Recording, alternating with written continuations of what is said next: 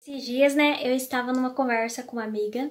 Aí ela falou: Mário, posso te fazer uma pergunta? Como não ser uma pessoa capacitista? Como não cometer capacitismo? Porque muitas das vezes a gente comete capacitismo e aí sem perceber assim no nosso dia a dia, pela nossa falta de informação, a ignorância, com que tipo de mentalidade que a gente deveria pensar para não ser uma pessoa capacitista. E aí, né, eu comecei a pensar com essa mentalidade. Como não ser capacitista? Qual que é a mentalidade de uma pessoa que não possui deficiência? Como ela deveria pensar para que ela não cometesse capacitismo com uma pessoa que possui deficiência? E esse é o tema do vídeo de hoje. Olá, pessoal! E aí? Tudo bem com vocês? No vídeo de hoje a gente vai falar sobre capacitismo. Como não cometer capacitismo, como não ser uma pessoa capacitista. Ou seja, qual é a mentalidade que uma pessoa que não possui deficiência deve ter nas suas falácias, nas suas conversas, nas suas comparações. Então vamos falar sobre esse assunto? Gente, eu ainda é, tenho pouco conhecimento eu tenho estudado muito sobre capacitismo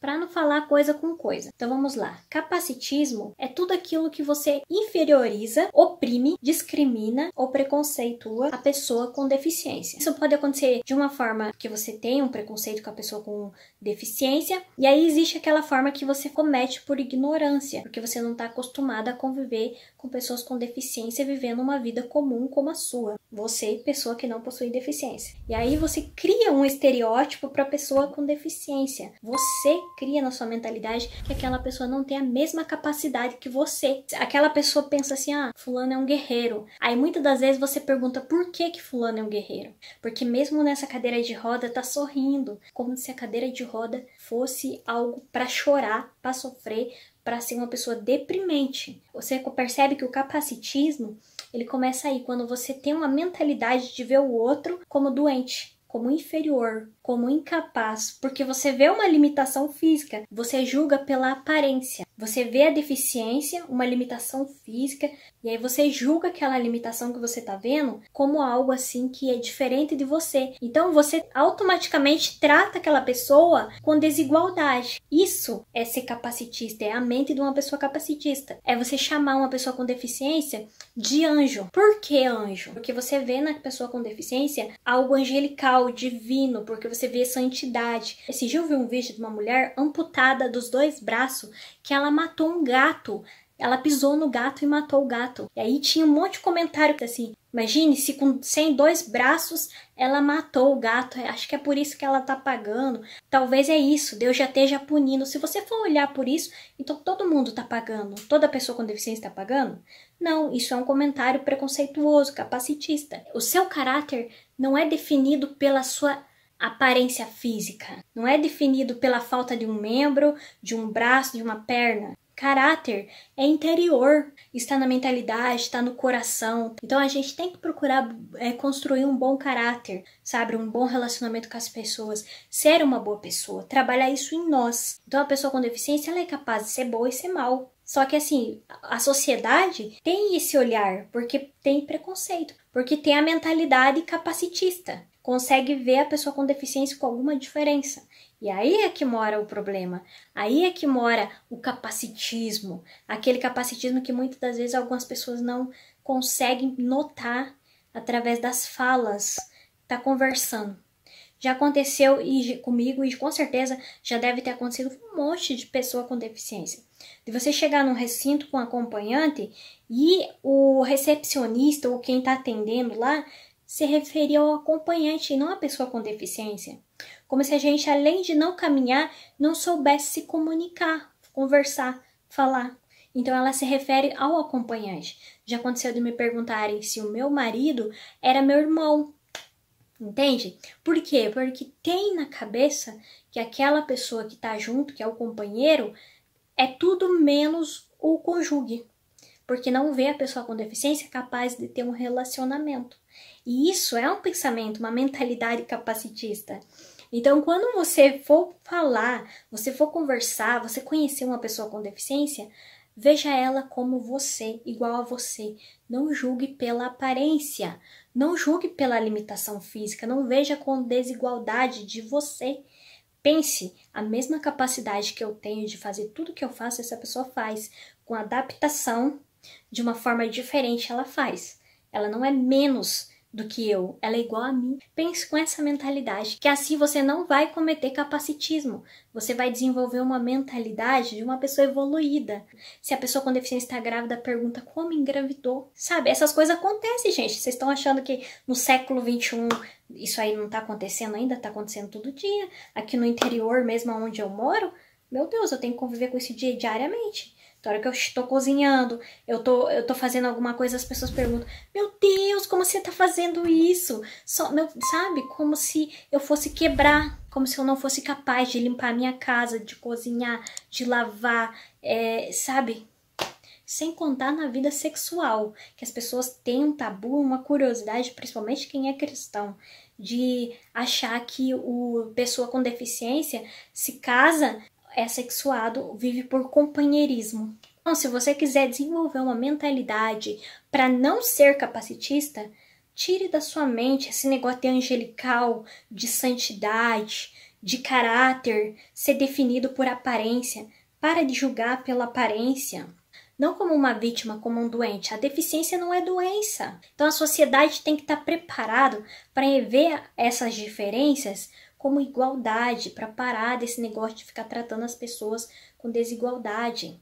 Ter mais respeito com o ser humano, tratar as pessoas com igualdade, o branco, o negro, o pobre, o rico, parar de ter essa, sabe? Todo mundo merece respeito e merece o mesmo tratamento. Então a mentalidade para não ser capacitista e não cometer capacitismo é parar de ver a pessoa com deficiência como doente, como algo divino, amuleto de alguma santidade, algo relacionado a ser guerreiro. Elogie a pessoa com deficiência pelo que ela é, a pessoa, a personalidade, entendeu? Ah, você é uma pessoa muito determinada. Eu me inspiro em você. Elogie a pessoa pelo que ela faz, pelo que ela é, não aquele elogio assim que a gente que recebe, a gente sabe quando é aquele elogio muito falso, que é aquele elogio que que é capacitista, sabe? Que ele já vem para me diminuir. Prefiro não receber elogios. Entende? Fale da pessoa. Não relacione com a aparência física, com a deficiência, porque esse é um erro capacitista. Então, o preconceito, gente, ele tá muito evidente.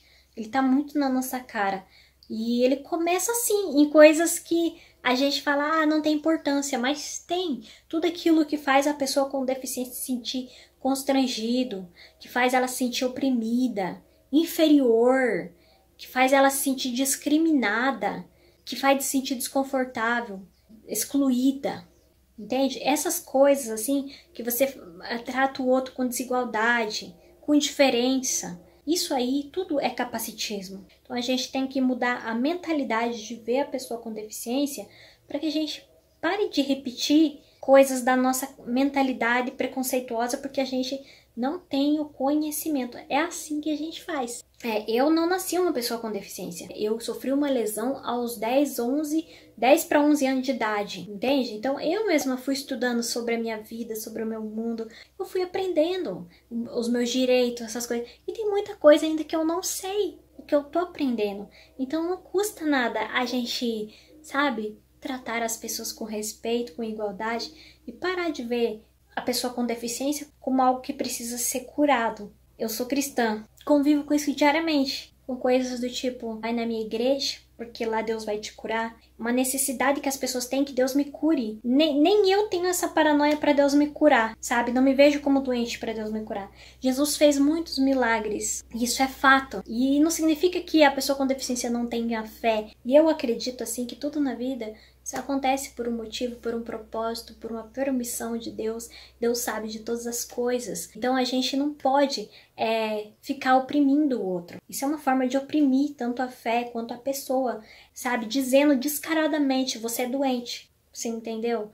Então essas coisas acontecem. E no meio cristão, gospel é o que mais acontece. Eu já recebi uns absurdos assim que, meu Deus, ainda bem que o meu relacionamento com Deus é um relacionamento blindado, que a minha mente é blindada. Eu entendo porque o povo do mundo, né, os povos ímpios, por que, que eles têm raiva de igreja? Às vezes eu entendo, porque é muito julgamento. Em vez de acolher, né, de tratar com igualdade, com amor, não fazer acepção de pessoas. Ah, vamos incluir todo mundo? Jesus não fazia acepção, ele incluía. Mas se ele quisesse fazer um milagre, ele fazia também. Ter essa atitude, esse estilo de vida cristão, assim, mas aí a pessoa com deficiência fica lá excluidinha num canto na igreja. Os grupinhos dos jovens fazem todo o grupinho. Eu sei disso, eu senti na pele.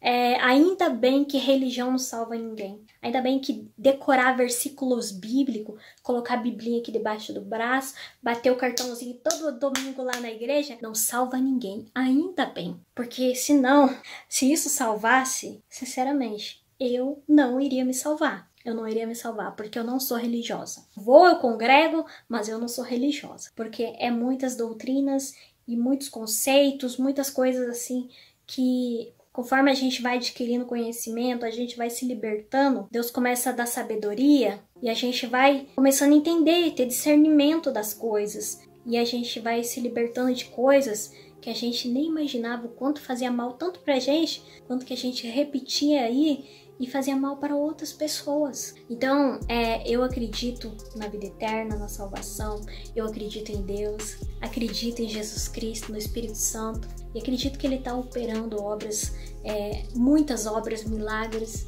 mas o propósito é a vida eterna, é a salvação. Eu conheço muita pessoa com deficiência que não quer pisar numa igreja. Quando eu começo a conversar com a pessoa, eu começo a entender o motivo o porquê. É, eu sempre peço a Deus Deus me ilumine para me falar com aquela pessoa, que não é a religião que vai salvar. Até, meia, até mesmo no meio dos crentes, dos religiosos, tem muita gente preconceituosa, tem muita gente. E é muito difícil, gente, mexer, é, trabalhar com a mentalidade de pessoas que não querem mudar. Existem pessoas que estão evoluindo, que estão se libertando, que são pessoas que realmente praticam o verdadeiro amor de Cristo.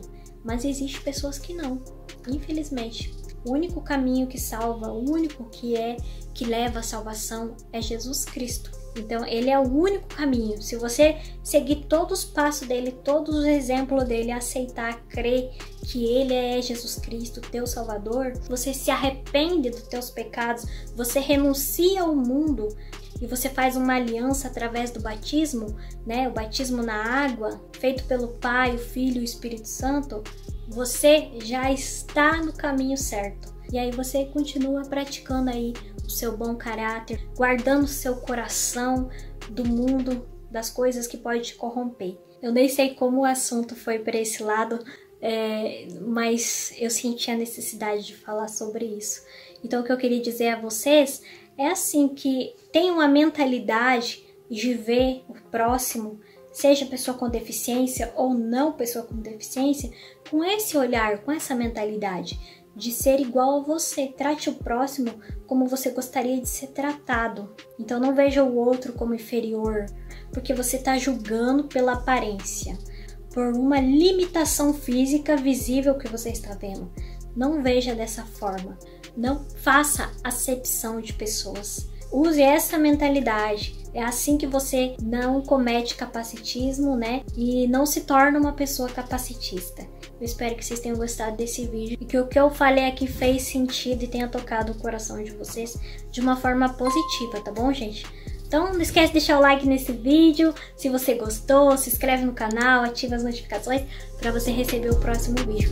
Um beijo e até o próximo vídeo. Tchau!